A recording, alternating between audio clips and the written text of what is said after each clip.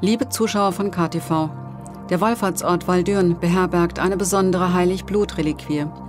Der Heiligblut-Schrein wird normalerweise nur während der Wallfahrtszeit von Mai bis Juni geöffnet. Aus Anlass der Corona-Krise findet jedoch aktuell jeden Sonntag um 18 Uhr eine Andacht vor dem geöffneten Schrein statt. KTV überträgt diese Andacht live. Schalten Sie ein und beten Sie mit uns.